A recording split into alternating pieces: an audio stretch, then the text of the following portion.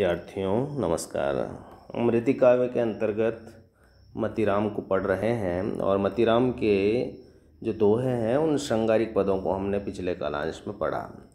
आज हम उसके आगे पदों को पढ़ रहे हैं, जिसमें उन्होंने नीति और श्रृंगार के पद भी लिखे हैं। छठा पद हम आज पढ़ेंगे। छठा पद हमने कल पढ़ लिया था। आज हम सातवां पद पढ़ेंगे, जहाँ मतीराम कह रहे हैं कि, अब तेरो बसीबो यहाँ नाही उचित मराल सकल सुखी पानी पर गयो पंक भयो पंक मय ताल। यानी यहाँ पर वो संदेश देना चाह रहे हैं, मति शिक्षाएँ देना चाह रहे हैं मती राम और समाज की उस सामाजिकता को भी प्रकट कर रहे हैं कि किस तरह से एक यदि व्यक्ति का सही समुचित आदर नहीं होता है तो ऐसी स्थिति में उसे वहाँ नहीं रहना चाहिए। सज्जनों की वो प्रशंसा भी कर रहे हैं, और दुर्जनों का जब प्रभाव बढ़ जाता है तो वहाँ पर रहना उचित नहीं, इस बात को संकेत कर रहे हैं कि अब तेरो बसीवो यहाँ ना ही उचित मराल। यानी, हे हंस, अब तेरा यहाँ बसना उचित नहीं है। क्यों? कि सकल सुखी पानी पर गयो। अब यहाँ पर पानी सूख गया है और जो तालाब है, वह पंकमय हो गया है, कीचड़ से युक्त हो गया है। मतलब क्या है इसका? तो यहाँ पर वो सज्जन की प्रशंसा कर रहे हैं और कह रहे हैं कि सज्जनों की प्रशंसा करते हुए कहते हैं कि दुर्जनों की जब दुर्जनाएँ बढ़ जाए तो वहाँ से दूर रहने में ही ज़्यादा भलाई है। तो हे हंसों, अब तुम्हारा इस तालाब में रहना उचित नहीं है, क्योंकि तालाब का सारा पानी सूख गया और केवल कीचड़ मात्र रह गया है। इस कीचड़ में तुम्हें मोती मिल नहीं सकते, अतः तुम्हारा रहना यहाँ ठीक नहीं है, असंभव ही है। लेकिन यहाँ पर एक समासोक्ति है। यहाँ कवि संकेत उन सज्जनों को कर रहा है कि जब तुम्हारे संसार में जहाँ पर तुम्हारा मान सम्मान नहीं है, तुम्हारी स्थितियाँ अनुकूल नहीं है तुम्हारे लिए तो वहाँ पर तुम ठहरोगे तो कोई मतलब का नहीं है। क्योंकि जब अच्छाइयाँ गायब हो चुकी है, कीचड़ के समान बुराइयाँ ही शेष रही हैं तो ऐसे स्थल पर तुम्हें यश नहीं मिल सकता, बल्कि तुम अपमानित ही होगे। तुम्हारी इच्छित वस्तुएँ और भावनाएँ भी वहाँ पर मिलना दूर है। ऐसी स्थिति में तुम्हें वह ताल छोड़ देना चाहिए और ऐसे स्थल पर जाना चाहिए जहाँ पर तुम्हारी तुम्हारा मान और सम्मान बढ़े। ठीक इससे मिलता हुआ दूसरा जो पद है, वह भी नीति का है। वो यहाँ कह रहे हैं कि, नारी नैन को नीर अरु तरुणी तीर उतंग, बढ़त सरित परिवार के गिरत एक ही संग।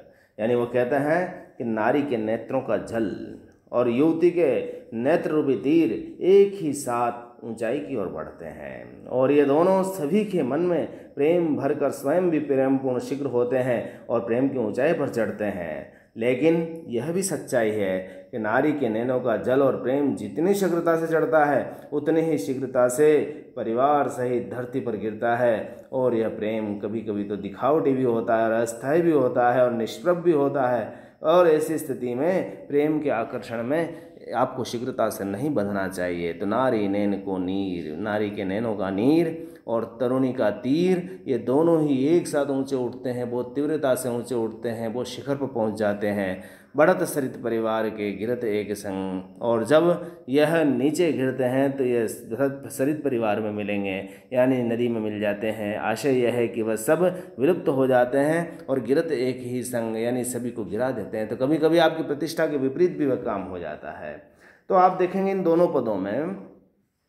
पहले पद में तो सज्जनों की प्रशंसा और सांसारिक बुराइयाँ हैं। और दूसरे पद में ये कह रहे हैं कि नारी के नेत्र और उनके नेत्रों के तीर प्रेम की तीव्रता को भी कई बार निष्प्रभावी बना देते हैं। दोनों में आप समासोक्ति अलंकार को देख सकते हैं। साहित्यिक ब्रजभाषा इसमें है, माधुरी गुण है और लक्षणा व्यंजना दोनों ही शब्द शक्तियों का प्रयोग किया है।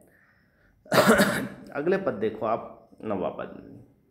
और कितनी अच्छी मधुरता है और शब्दों का किस तरह से चयन है, इसको भी देखें आप। कि श्रम जल कन जल कन लगे। अलकनी कलित कपोल पलकनी रस छली कन लगे। ललकन लोचन लोल।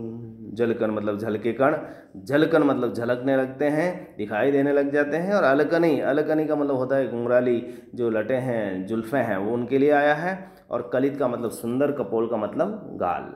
पलकनी रस छलकन लगे ललकन लोचन लाल। और ललगन का मतलब उमंग से भर जाना। यानी यहाँ पर श्रृंगार का जो सौंदर्य अंकन है, वो किस तरह से मतिराम करते हैं, वो देखें आप। यहाँ पर संयोग श्रृंगार का वर्णन है, जहाँ नायिका के नक्शिक का सौंदर्य वर्णन करते हुए कवि कह रहा है कि नायिका की पलकों का रस और पलकें नायक को प्रेम पाश में बांधने के लिए पर्याप्त है। तो ये कहते हैं और ख़ासतौर से दरबारी संस्कृति का जो प्रभाव उन पर है, वो भी दिख रहा है कि दरबारी संस्कृति की श्रृंगारी विलासिता के अनुरूप श्रृंगार संबंधी लक्षणों का जब निरूपण करते हुए मतिराम कहते हैं कि कोमल काया की जो धनी नायिका है, उसके शरीर से परिश्रम के कारण श्रम की जल बूंदें झलकने लगी। श्रम जलकन झलकन लगे। अर्थात थोड़ा सा भी वह परिश्रम कर रही है तो उसके माथे पर श्रम की बूंदें, पसीने की बूंदें झलकने लगी है। और उसकी जो अलकनी है, वो काली गुंगराली लटें हैं जो सुंदर गालों पर, उस पर टपकने लगी है हल्का निकली और उसके ऊपर सुंदर दिख रही है। सुंदर सुंदर गालों पर उसकी श्रम की बूंदे, पसीने की बूंदें झलकन मोती की तरह चमक रही है। और पलकनी रस छलकन लगे। वह ऐसी लग रही है। जल की बूंदें ऐसे छलकने लगी कि मानो रस की बूंदें छलक रही हो। नायिका के इस सौंदर्य को देखकर किसी भी नायक के चंचल नेत्रों में नायिका को पानी की उमंग उत्पन्न हो जाती है। यानी पानी रस छलकन लगे, ललकन लोचन, ऐसे सुंदरता को देख करके किसी की भी नायक की जो आँखें हैं, ललचा जाती है, ललकन लोचन लो सुंदर आँखें उसकी ओर आकर्षित हो जाती है। दूसरे पद में वो बता रहे हैं कि चंचलता तो चखनी की नहीं न, कहीं न जाए बनाई, जिन्हें चाहिए चंचल महा। चितो अचल हो जाए। यानी नायिका के नेत्रों की जो चंचलता है, उसका प्रभाव किस तरह से है, वो उसके बारे में मतिराम बता रहे हैं कि नायिका के नेत्रों की चंचलता का जितना वर्णन करूँ, उतना कम पड़ जाता है। चंचलता तो चखने की कहीं न जाए बनाए। यानी मैं उसकी क्या वर्णन कर सकता हूँ? या संयोग की अतिशयोक्ति है कि यानी किस तरह से वह श्रृंगार को वर्णन कर रहे हैं? जिन्हें चाही चंचाल महाचितो। और ये चैन नेत्र इतने चंचल है कि अनेक चंचल, अचल नायक भी चंचल हो उठे और महाचितोचल हो जाए और पाने के लिए अनेक चंचल नेत्र स्थायी प्रेम पाकर सदा के लिए स्थायी हो जाते हैं। यानी नायिका की जो नेत्रों की दृष्टि है, उसको देख करके कई लोग विमुक्त हो जाते हैं और वहीं स्थिर हो जाते हैं। वहाँ सदा सदा के लिए एक हो जाते तो यहाँ पर संयोग श्रृंगार की एक तरह से छटा यहाँ पर व्यक्त की गई है। एक पद और देखें। कि नंदलाल के रूप पर रीजी परी एक बार अद मूंदी अखियन दई मूंदी प्रीति उधार यहाँ पर एक कृष्ण के प्रेम में डूबी हुई एक नायिका है और वो मुग्धा नायिका है।